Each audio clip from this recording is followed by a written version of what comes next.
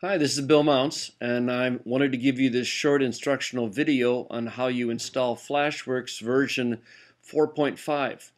I should tell you that when 4.5 first came out, it was a different installation process, but since then I've been able to fix some things and make it a lot simpler. It was interesting that earlier on in the 4.5 installation process, I had broken it down into lots of little pieces. You install the app, then you install the databases and that kind of stuff. And I found myself wondering, why did I do that? And I realized back when I started Flashworks, you know, 56K modem was really fast. And the difference between a meg and a meg and a half download was substantial. And so I originally, 10 years ago, broke it into lots of little pieces, but don't have to do that now. So everything is in one installer. So the Flashworks installer will install the application and its support files. It will install both the Greek and the Hebrew databases both the Greek and the Hebrew fonts. And the only thing it won't install are the audio files. That's a separate download. Oh, it also installs the text file so you can create your own databases. So let me just walk you through this process. And I'm using a Macintosh here, but the Windows process is very, very similar. So you go ahead and download the Flashworks installer and then double click to run it. This screen is just telling you where the files are located when you're done, and I'm going to walk you through that. So you agree to that, and then go ahead and start the installer. Again, same basic information. Because it might be installing a font, uh, you need your system password, so go ahead and type that in and then say install. And that's basically it. And again, this is just a reminder of where the files are. Well, let me show you that because that's pretty important.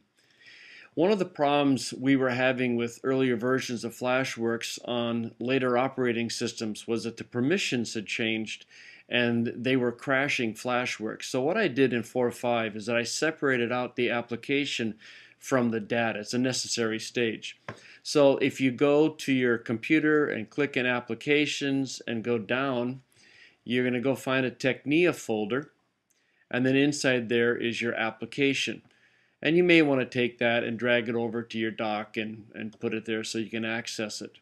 The databases are in your Documents folder. So click on Documents, go down, find Teknia, again go inside Flashworks Data, and here you have the Flashworks Greek.vdb, the Flashworks Hebrew.vdb, the folder that holds the text files so you can create your own databases.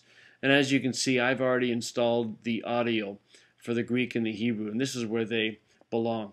So that's where all the locations of all the different files are. And from this point, you can just simply start it up but because I've separated out the application from the data, it technically, the application doesn't technically know where your data is. So when you first start the program, you have to tell it where your databases are. So you get this error message, well it's a message, it's not an error message. Click OK. Then what you're going to do is go up to File, Open, and then you're going to navigate to Documents, Teknia, Flashworks Data, then you can choose whether you want to open the Greek or the Hebrew. I'm going to open the Greek. And we are ready to run. Now, if you don't want to do that every single time, you can tell Flashworks what database to open up by default. I'm sure you'll want to do that. So you go to Flashworks and Saved Preferences, click on the Other tab, and then go down to where it says Default Database. Click on the Browse button, and it should be pointing to where you just were, to Flashworks Greek in this case, and say open.